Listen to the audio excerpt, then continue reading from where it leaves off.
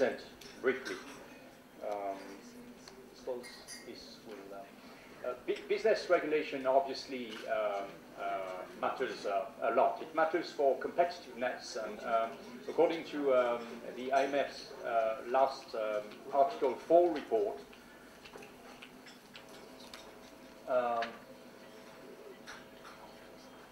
if um, every single state in India uh, Uh, performed as uh, uh, the best performer amongst them on um, business regulation, then uh, growth would uh, increase, um, corporate investment would increase, and growth, economic growth would increase um, by 0.2 to 0.3% per year, which is not insignificant, particularly in this time of slowing down of uh, economic activity. It's, it's extremely important for uh, job creation as well, and one of, one of the challenges in, in um, India in particular is that um, uh, most uh, jobs are in the informal sector, particularly in the manufacturing and trading uh, um, industry. Um, and um, it's uh, extremely important for access to markets by um, uh, industries to domestic markets as well as to international uh, markets. And it's uh, particularly in India essential to help formalize the informal sector, which remain prevalent and pervasive. These are um, um, data on uh, how big is the informal sector uh, in the manufacturing industry in India. As you see, it makes uh, 99% of firms. Uh, it makes um, two-thirds of uh, employments, and it's on a much faster increase than uh, formal um, employment. how to measure the quality of business regulation? There are different tools for that, and they are all problematic. One is perception. And we have, these are the, latest, uh, the latest data from uh, the World Bank. The World Bank issues uh, uh each year what is called the uh, World Governance uh, Indicators, which are um, aggregate indicators of um, governance, which are disaggregated under different sub-indicators. And one is about the regulatory quality. And as you, you may see, it's on decrease in India uh, relatively significantly for the, uh, the, past, um, uh, the past few years. unfortunately, it's so problematic, perception is so problematic that we've discarded these indicators, although we're still publishing, releasing them. We have discarded these indicators for any operational use uh, within the uh, institution. Um, ranking and scoring matters, obviously, because that's uh, um, a benchmark for investors. And again, on this uh, particular, um, thank you, on uh, the burden of, of uh, government regulation based on the last uh, Global Competitiveness uh, report, you uh, may see that India's ranking is on significant decrease, has been on significant decrease for the past um, few years. Um, it, it, it's not only that uh, others are performing better, it's also that uh, India is uh, scoring lower. The, the, problem, I'll, I'll, mention a few issues with ranking. International ranking have raised a lot of um, um, methodological issues. Uh, one is uh, when it comes to regulation, uh, in particular, is that in, in, many instances comparing apples and, and, and pears. In, in, the same uh, regulation uh, may have a very uh, different impact in, in many, um, in different countries, in different contexts. In some uh, countries, um, the uh, regulation may incur uh, benefits, in others only penalties for companies. So um, when using uh, indicators. One uh, should be extremely uh, cautious, and that's the sense of these this slide. Um, um a, a, proper assessment of business regulation calls for um, a cost-benefit analysis. Um, for example, legal security is uh, a major um, uh, parameter uh, that matters a lot for um, uh, entrepreneurs and, and, and, investors. How do you measure that under um, uh, business indicators, business um, environment indicators? That, that's that's a, a, a, big issue. And that relates to the question raised this morning by Arun Maira on enforcement. Enforcement and complexity of the regulatory framework. Uh, we, tend, we may use uh, proxy indicators, and uh, these are the ones that um, uh, you mentioned. Um, uh, doing business, doing business is made of 10 indicators, which are supposed to reflect the business environment um, as a whole, but which are extremely focused and extremely uh, narrow uh, down on specific administrative procedures, which you may think are not representative of the whole. Um, and that's, um, uh, I must say that uh, the doing business uh, uh, exercise, which has been conducted by the World Bank for the past uh, now seven years, has been extremely contentious within the institution as, as, as, well as with its uh, uh, some of its members, including the government of, of India, and it's, uh, it has re recently been decided by the president to send it back to the, to, the research department to uh, align it better with uh, uh, the knowledge and, and, and, other research exercises conducted by, by the bank. then rating has its limitations as well, because you may create perverse incentives for government to perform better on the face of it.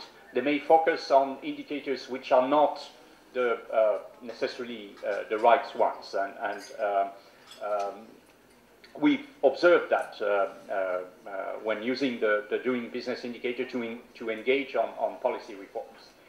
Um, then there is um, the same regulatory framework does not apply in um, the same way to different um, operators or uh, and uh, this is a bias that Lant, Lant Pritchett, uh, who's in, well known, he's a former bank, World Bank economist, has called the incumbency bias. Um,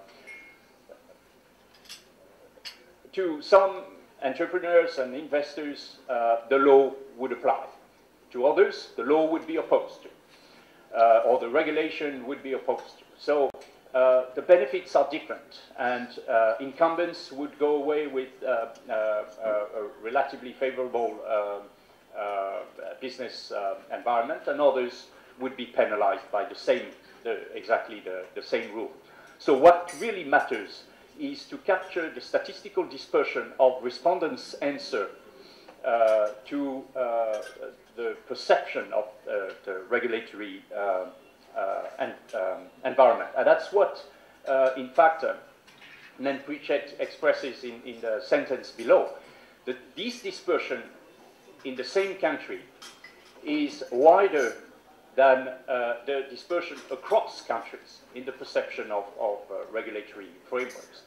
Um, that says about the limitation, by the way, of the doing business um, um, report in capturing the quality of uh, business regulation. And then, of course, there is, uh, uh, there may be uh, all the difference in the world between de facto and de jure uh, regulation, what's in the books, the um, uh, legal framework, and what really applies. And, and, and, and it's true, obviously, uh, so Maira mentioned that as a major issue in, in India, but it's true everywhere in the world. In, in my own country, um, the um, theoretical tax liabilities are much higher than the effective uh, tax rate when you account for all the tax expenditures, that is, exemptions, uh, uh, rebates, and, and, all that that are granted to, to different categories of, of uh, companies. So that, that, that is um, uh, an important. Uh, so this, this discrepancy between de facto and de jure is captured here in this, on this um, graph and India is here. So it's one of those who's the most affected by this discrepancy, but not, not the uh, worst case. You see here is South Africa and, and other countries. So it's a, it's a, a common uh, uh, phenomenon. Here is, uh, and it, it still, uh, it, it, still comes from uh, Lant Pritchett's um, work. Here, this graph, which seems complicated, says one thing. It, it, says that some reforms which are uh, positive on, in, in principle, for example, reducing procedural delays, in that case, for uh, clearing imports, may have, in fact, exactly the opposite impact. And that's captured here. So uh, let's take uh, Turkey. In Turkey, uh, the delays are reduced here based on uh, computation and doing business, uh, the doing business indicator. In reality, the costs, the, the, the delays are, as perceived by importers is on slight increase. And for others, it's even in Armenia, it's why that?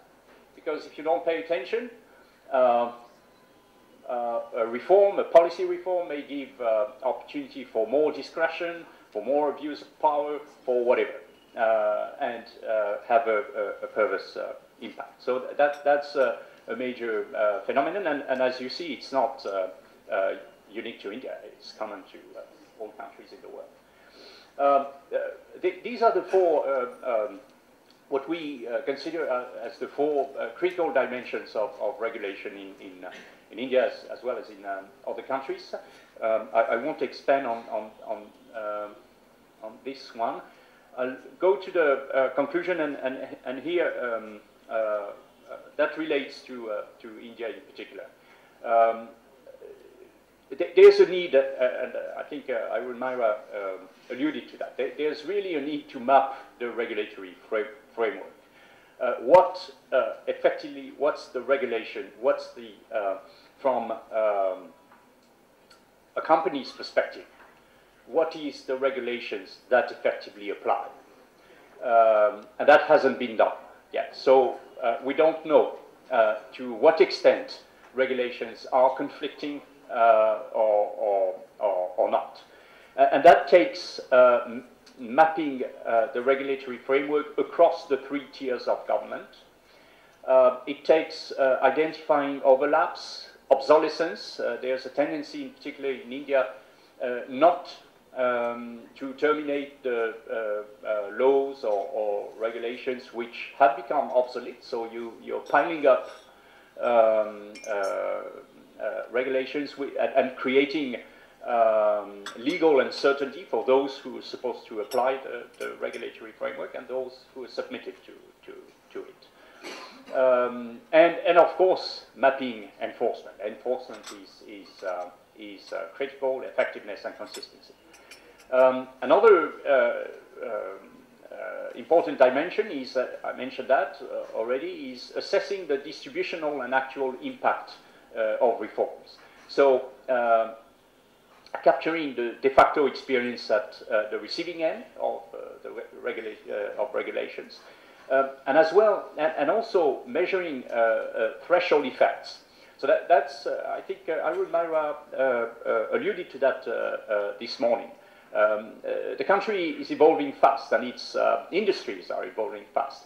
So if you have a, a, a particular regulation meant to um, easy up um, uh, or, or, to um, uh, support um, small, small size uh, company, you must be careful that these companies are not bound to remain small. They may um, uh, need to evolve uh, to scale up. And in fact, um, uh, one of our observations is that um, um middle-sized companies over 50, 50, 50, employees are underrepresented in, in, in India. And, and that's one, one of the bottlenecks. So um, you, you, may want to avoid stunting effect on companies um, resulting from eligibility criteria. And that's also, so uh, that, that notion of um, um, uh, factoring, it, factoring in uh, your uh, uh, regulatory policy evolution is, is an important dimension.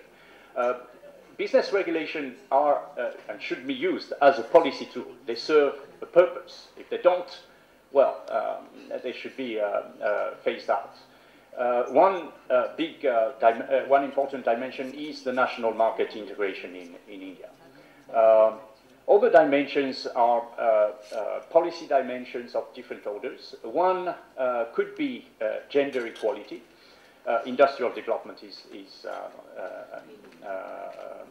an obvious objective and job creation uh, as well. I'll, I'll, come back to gender equality in a second, or, or rather right away. We just published um, a report on uh, women in business. Um, it's striking because, uh, well, first, uh, you may, uh, what, what, you see here is that there, is some correlation between the, uh, the uh, competitiveness of the economy and the women, the participation in business. what's important, what's important is, and in fact, by the way, India uh, fares uh, rather badly on the, on the global gender uh, gap report on all dimensions except um, women political empowerment. Um, and in this, in, in this, um, in, this uh, particular respect, there's a reason for that. Uh, the government has legislated uh, to reserve seats in local assemblies and, and all that. So the question here is, do you need more regulation to uh, improve the, uh, the economic and, and uh, the economic participation of women um, to improve competitiveness. some countries are legislating, mine is doing that. European, the European Commission is issuing directives on the, on the matter. So that, that's one um, important dimension, obviously. Um, also, business sh regulation should be um, uh, uh, construed as uh, a service. I think the, the, the, minister alluded to a, a, series of reforms and the, the, the common service centers and, and, and, so on. A lot of states in India are, um, have enacted the right the right to service, for example, that applies to citizens as well as to companies. And one of them, Karnataka, is reporting on uh, the, uh, the uh, to what extent procedural delays in uh, collecting uh, commercial taxes um, have been reduced under the, under the Act. Um, so that, that's uh, uh, obviously an important dimension on which uh, the states are starting to uh, emulate each other and on which we see a lot of actual progress and potential progress. Um, so that's the last part of it. Um, there's a lot of initiatives, and the, the, minister, this state minister, this morning um, reported on what the government of West Bengal is doing. Other states are, are doing that. There's a wide um, variation of across uh, the states, across the, the, the cities um, in India. So by, uh, if only uh, by emulating the best performance, uh, one may expect that a lot of progress in the quality in the, as a whole of uh, business, uh, the business climate could, uh, could, um, could be achieved. Um, and as I said, business regulation is not, um, could be considered as, as, a, as a service. A lot rests on the interaction between um, public administration and, and, and, and, companies, and that's also an entry point for further reforms. I'll stop at that. Um, I hope I haven't been too long, and I'll uh, give the floor now to, I understand, uh, Navroz, if I'm right. Is that right? Thank you.